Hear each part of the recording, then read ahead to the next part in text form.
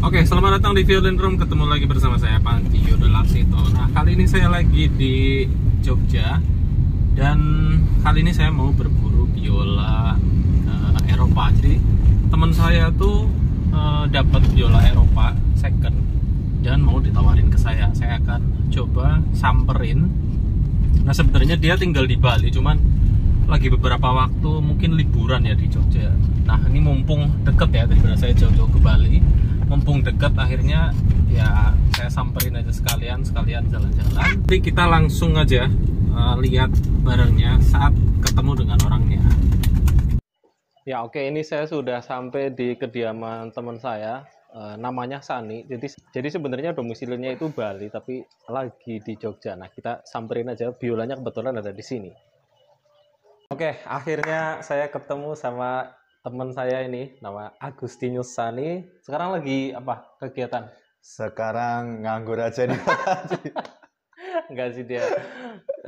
Pak dosen dia pak dosen ya jadi lagi ini ya studi di Jogja ya? Ya lagi belajar lagi mm -hmm. Jogja nah kuliah. kemarin itu saya sempat dihubungi lama sih katanya hmm. dia dapat biola Jerman ya ini Jerman? Jerman Jerman. Nah nah kira-kira ini biola ini dapetinnya dari mana sih? Apakah ke Jerman asli atau dari mana itu? Jadi itu saya dapat dikasih mertua. Mertua tuh punya temen mm -hmm. dari Jerman. Mm -hmm. Nah tahu kalau saya suka main biola, terus suka main apa ikut orkes mm -hmm. gitu kan, ajar biola. Dikasihlah ini kayak gift gitu. Jadi temennya tuh ngasih ke uh, apa mertua saya. Mm -hmm. Nah nggak tahu dia dapat dari mana, dikasih nih Sani buat kamu hadiah gitu. Tak cek biolanya tuh masih kon eh, kok kayaknya lumayan nih tak cek. Ternyata biolanya uh, dia nggak tahu ukurannya kalau buat dewasa. uh, dewasa tuh 4 per 4 kan. Cuma -hmm. dikasih ya udah nih dikasih. Eh ternyata 3 per 4 coba kalau per 4 mau tak pakai sendiri pakai sendiri. nih Mas Panji karena 3 per 4 ya pengen tak ini siapa yang mau pengen ganti yang 4 per 4 sekalian. Nah ini bukannya gimana nih? Ini, wah ini jarang nih hardcase yang di Indonesia nih tinggal dipencet. Oh. Ah. Dan ini ini bukannya agak ribet ya teman-teman ya. Ini kalau hardcase hardcase yang dari China itu nggak ada yang model kunciannya kayak gini. Hmm. Nah ini kenapa bisa tahu ini dari Jerman asli? Nah, kan bisa juga tempelan kan? Iya, makanya saya curiga kan, makanya kok cuma dikasih aja nih, jangan-jangan biola biasa kan? Mm. Kita tak cek kan mereknya Buber Buben Buben Reut ya, ini yang buat tuh Buben Reut Ano, Walter Walter Mah satu. Terus saya cek di ini Google kan, ternyata mm. orangnya masih hidup ini. Oh, si lutirnya? Iya, lutirnya masih hidup kebetulan ada emailnya di sana. Saya email kan, saya foto, saya hmm. email, hmm. saya tanya apakah benar-benar ini biola uh, beliau yang buat, hmm. beberapa ini yang buat kan. Ternyata saya dibalas gak lama, dia bilang iya ini saya yang buat, saya hafal karena saya, dia, dia kan buatnya pakai tangan kan, yeah, yeah, kan. Yeah, nah semua piece yang dia buat tuh dia hafal. Nah terus saya fotoin ininya, scroll uh, apanya full full body full body sama Seri stikernya di dalam itu serinya dia hafal oh saya buat tahun sekian nih ini uh, memang biola saya yang tapi saya bukti buat. email ada ya bukti email ada nah nanti uh, uh. kita bisa cantumin ya jadi yeah. Iya. uh, bukti email uh, sama si lutirnya asli yeah, yeah. terus uh, bedanya nah kata si lutirnya itu uh. bedanya biola Eropa sama China apa sih uh, dari segi kayunya kalau dia dia nggak bilang detail tapi dia bilang coba kamu lihat uh, karya-karya saya yang dipost di webnya dia kan. Hmm. saya cek kan. Nah ternyata tak bandingin kayunya ini mas Panji. Jadi karakter kayunya seratnya terus dia nggak ada biola yang sama persis. Walaupun serinya sama pasti karena kayak ujung-ujungnya ini oh. terus ininya. Dia kan benar-benar pakai tangan. Itu nggak ada yang sama persis. Kalau biola yang pabrik itu kan persis ya plek mm -hmm. ininya ini ini kan kanan kiri beda nih oh oh iya paham paham iya jadi gini gini saya pernah dengar ya. Oh. Jadi biola yang dibuat manual itu kadang ada yang nggak simetris. Ya. Nah, ya? justru itu yang yang ini handmade, benar-benar handmade. Jadi kanan kirinya, ini kan ujung-ujungnya kita lihat. Nah, terutama yang ini, dia kan dia kan katanya buatnya Cina itu benar-benar hmm. handmade. Nah, nanti saya fotoin lebih detailnya ya teman-teman ya.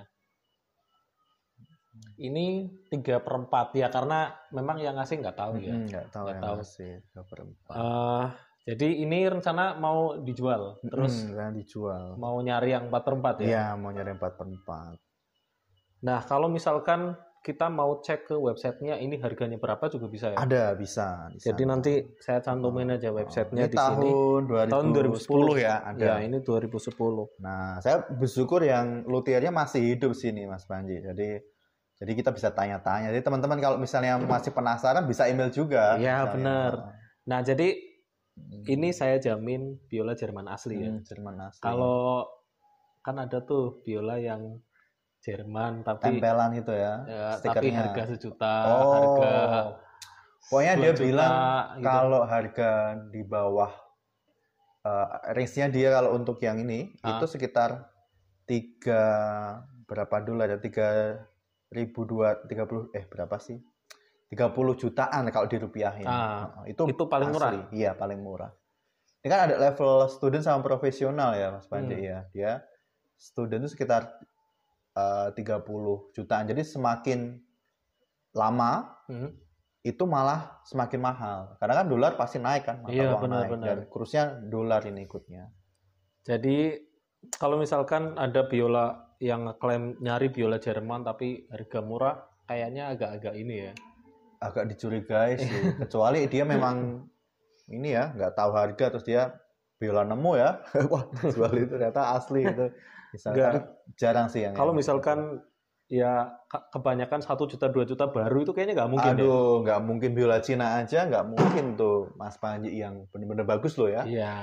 Paling enggak ya sekitar 5 jutaan ke atas lah nah ini nanti kita coba ya. Cuman hmm. kalau pas saya coba nanti mic-nya saya copot biar hmm. uh, suara biolanya asli dari yang ditangkap sama handphone ini. Hmm. Cek suaranya ya.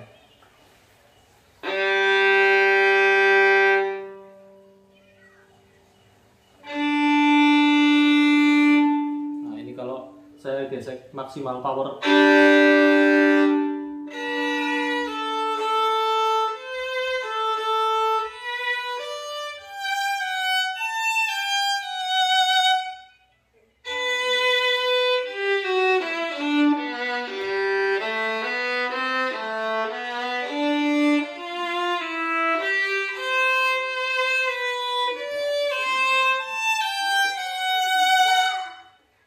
Biarpun ini tiga perempat cuman secara uh, power ini apa ya bahkan bisa nandingin empat perempat loh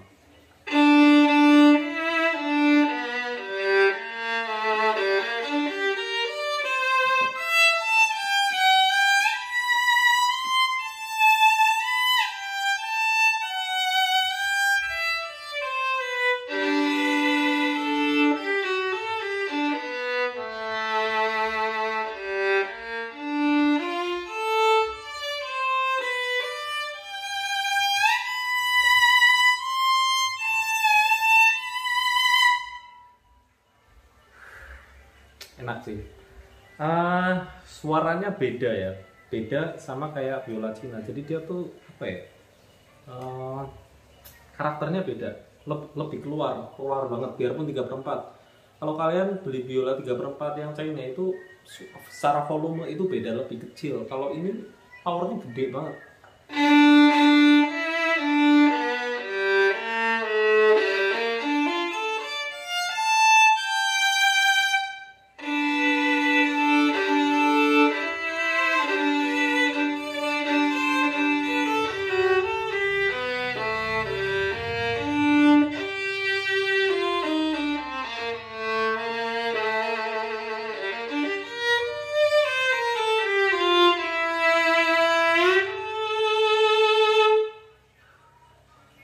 Sebenarnya kalau kalian biasa pakai 4 per 4 terus habis itu pakai 3 per 4 itu agak sedikit kesulitan ya. Cuman kalau misalkan yang uh, udah dewasa cuman jarinya kecil atau uh, kalian mempunyai tinggi badan yang uh, lebih pendek itu biola 3 per 4 akan cukup enak dipakai. Dan ini biola sangat lantang suaranya. Secara power tidak diragukan lagi. Kalau mau cek-cek biola ini bisa kalau misalkan kalian mau uh, penasaran nyobain langsung itu juga bisa silakan langsung chat aja nomor saya. Iya Mas Maji kemarin ya. kan setelah dapat saya kan ada beberapa teman-teman lotir yang tukang servis dari iya, Jogja ya, ya. ya. Saya tanyain karena saya sempat ragu kan jadi sebelum emailnya dibales lumayan lama sih saya nunggu seminggu itu baru dibales tuh. Mm -hmm. saya tanyakan ternyata dicek mereka wah ini asli nih mas ini langka nih dapat dari mana kok bisa mereka tanya kok bisa gitu Nah, apa dari Jerman? Kalau dari Jerman harganya pasti berkali-kali lipat iya. gitu kan. Nah, ternyata mereka bilang asli dan uh, sekitar dua dua luthier yang saya cek, mereka bilang ya ini asli. Karakter suaranya beda, jelas-jelas beda. Walaupun tiga per empat, dia bilang karakter suaranya nggak kalah sama empat per empat. Mm. Ya, bulatnya ininya walaupun tiga per lebih kecil, tapi kualitas suaranya nggak kalah bisa diadu sama yang 4 per 4 kalau dari player-player pernah ada yang nyoba? Player juga pernah ada yang nyoba. Dari ini yang ikut Yogyakarta String Orchestra juga ngecek uh, main ini dia seneng. Dia bilang tak beli mas. Kak, coba kalau 4 per 4 pasti udah tak beli. Sayangnya 3 per 4 gitu sih. Jadi kalau buat kalian yang tingginya berapa itu nih? Berapa ya? 160-an, 150. Ya, 150 ke bawah lah ya. Anak inilah kalau S, SMP ya, S, SMP, SMA tapi SMA tapi yang kecil ya, yang kecil. kecil. Biasanya cewek-cewek nih yang suka. Kemarin yang uh, apa kuliah mahasiswa pun mahasiswi dia ada yang pakai 3 per 4. Hmm. Ya itu yang yang nggak terlalu tinggi, yang jarinya kecil-kecil cocok sih pakai tiga per. Jadi ini udah di fitting juga, bridge-nya udah diganti pakai hmm. bridge yang deluxe, over deluxe ya. ya. Kalian bisa cek sendiri. Outboard deluxe tuh kira-kira harganya berapa, hmm. terus untuk senarnya juga ini udah senar setara yang setara tonika, ya. tonika ya. Hmm. Jadi udah uh, paket komplit lah. Paket komplit ya. siap pakai ini. Ya. Nah ini rencana biolanya mau dijual, hmm. cuman kira-kira harganya gimana? Uh, langsung japri aja ya. Langsung japri aja nanti. nanti kalau mau misalnya mau cek harga dulu, wah ini bener nggak sih? Uh, bisa cek. Nanti kita kasih di link deskripsi yeah. ya iya. untuk untuk apa namanya webnya, terus bisa email yeah. yang itu langsung. Baik kok orang yang buat dia seneng. Dia kan hmm. saya bilang gini di Indonesia tuh banyak biola palsu yang ada biola tapi dikasih uh, stikernya biola Eropa, nah, ada itu biola Cina. Terus nah. gimana tanggapannya? Nah, ya dia ternyata dia tahu, iya saya tahu di Indonesia kayak gitu Waduh. gitu. Terus makanya saya cek kan, saya kan cerita, oh ya uh. saya di Indonesia itu kayak gini, apakah ini benar gitu kan? Saya tanya sampai dua kali itu dan beliau jawab, iya ini buatan saya. Hmm.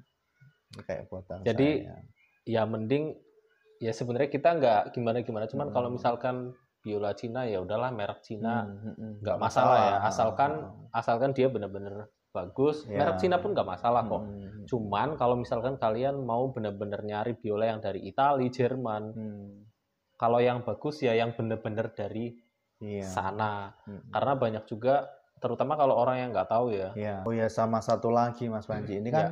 biola Eropa hmm. Jerman ya hmm. langka gitu kan Nah, kalau teman-teman mau misalnya mau koleksi, ini hmm. recommended banget sih misalnya mau kan semakin lama harganya semakin mahal nih ya. Yeah. Misalnya, aduh, nggak apa-apa lah buat koleksi. Tak jamin ini asli. Websitenya ada. Ya, website ada. Emailnya masih hidup. Masih hidup.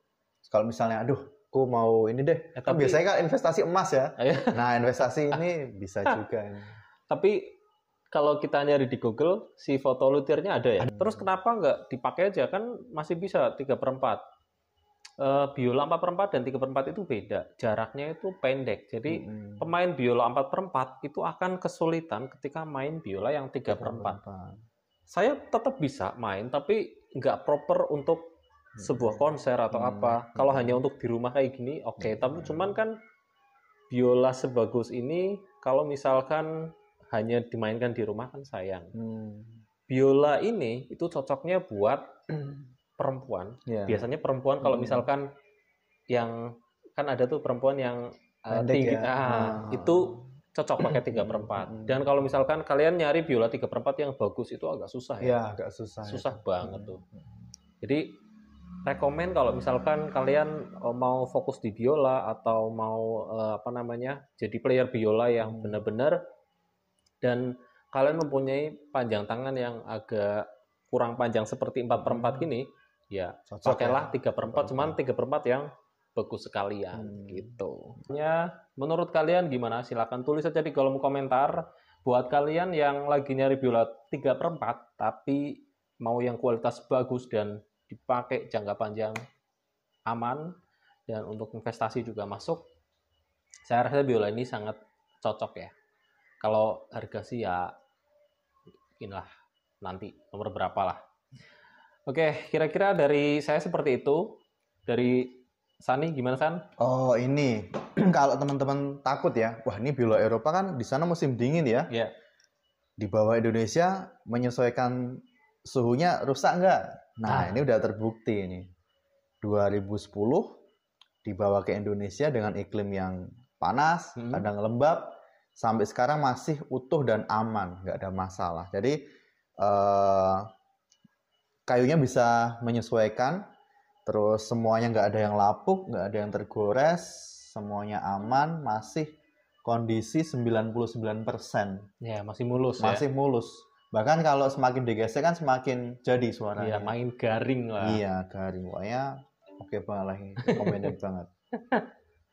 Oke, saya rasa itu dulu video dari saya dan Sani dan petualangan saya ke Jogja kali ini ya dapat satu biola Eropa yang benar-benar dari Jerman. Oke, semoga video ini bermanfaat dan sampai ketemu lagi di video selanjutnya. See you on the next video.